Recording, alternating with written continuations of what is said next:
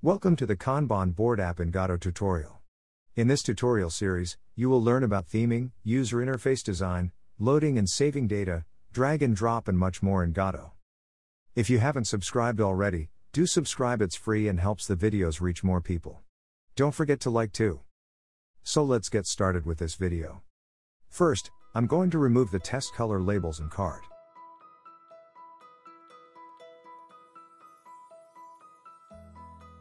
Let's make a new scene for the column. We want a vertical layout, so add a panel and margin container.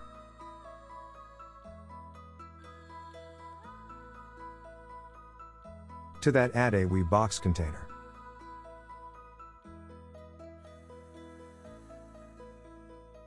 Then add a label for the title.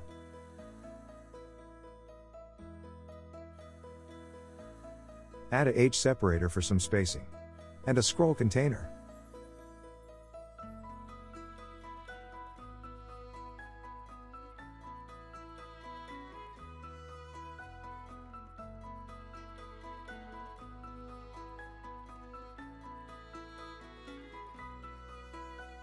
Give the label some text.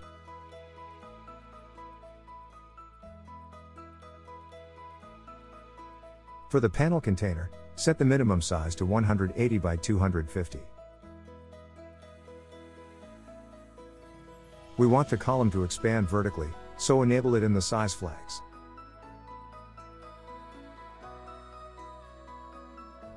Let's also increase the margin in the margin container to 12 pixels.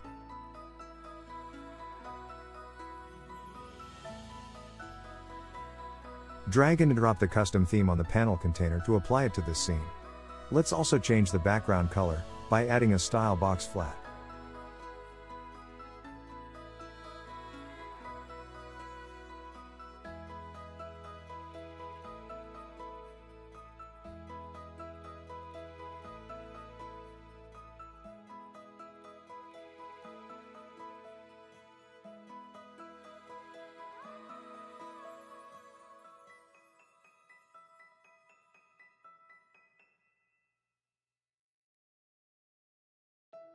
We need to add another H separator for some more spacing after the scroll container. Then add a button.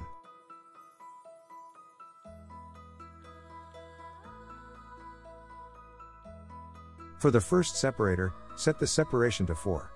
For the next one set it to 8.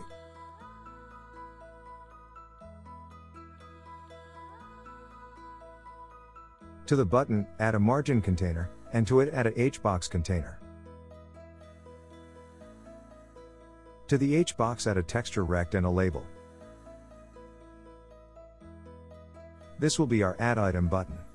Drag and drop the add item image for the texture. And change the text of the label. Let's center the texture by setting the stretch mode to keep aspect centered.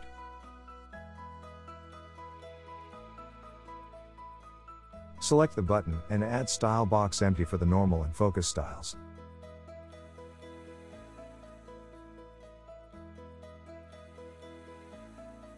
For the pressed style, add a style box flat. And change the background color.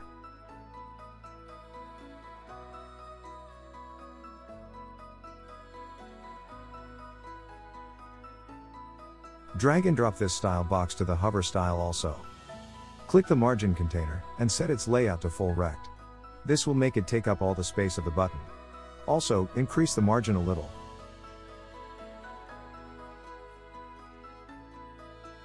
On the scroll container, enable the vertical expand size flag. The button is slightly offset because of the margin container, so let's change the minimum size of the button. Now the button is centered.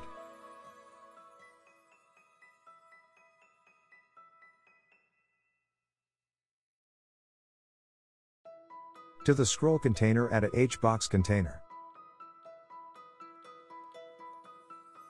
And to that add a VBox container. To the HBox add a V separator and increase its separation, this is to give some spacing when the scroll bar is visible. Enable the vertical expand flag on it. And for the VBox enable both the expand flags. Rename the VBox to cards. And rename the other nodes adequately.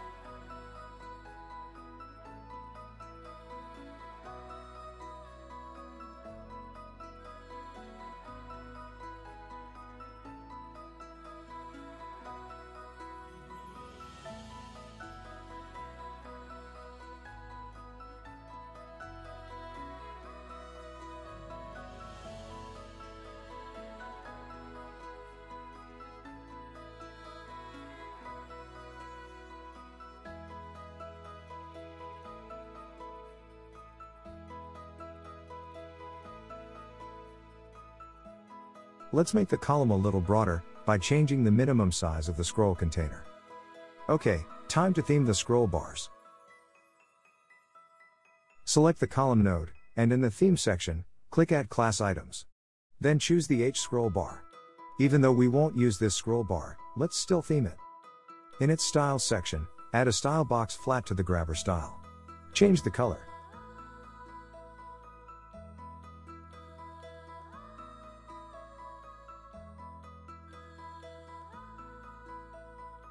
Set the border and corners to 5 pixels.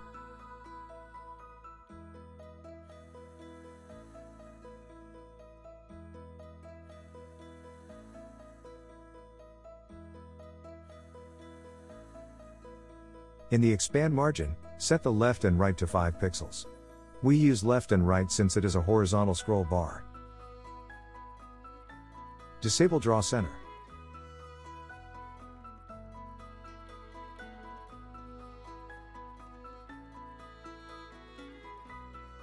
Now, drag and drop this style on the other grabber styles too. For the scroll style, add a style box flat. Again change the color, border and corner size. Disable draw center.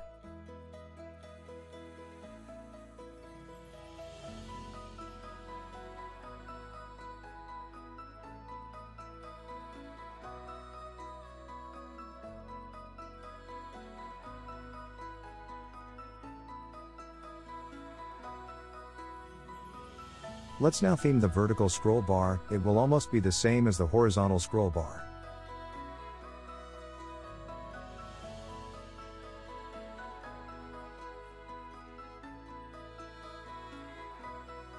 Select the V scroll bar.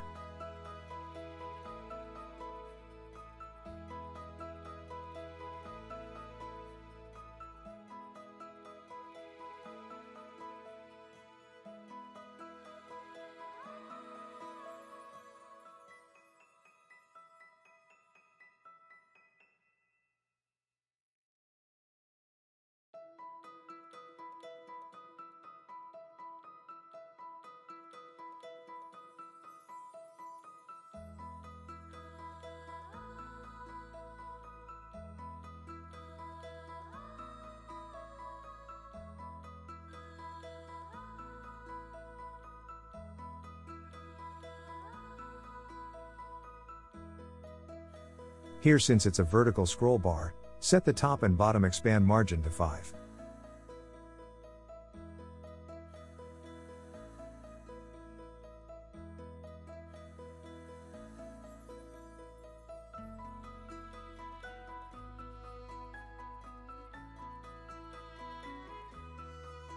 We need some more width on the column.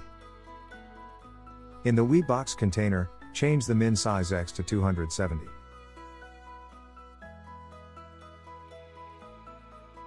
Okay, let's try the scene.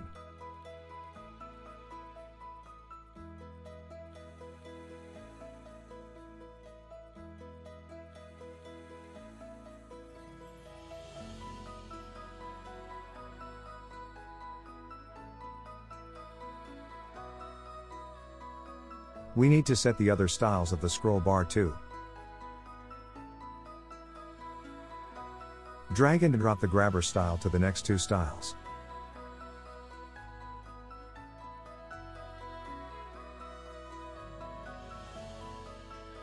Let's change the color and font of the column title.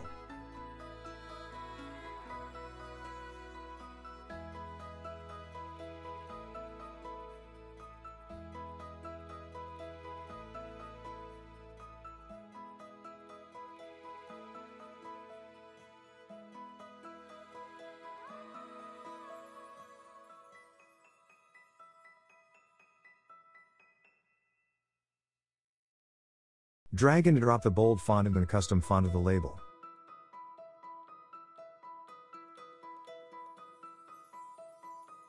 Change the custom font color to a dark blue.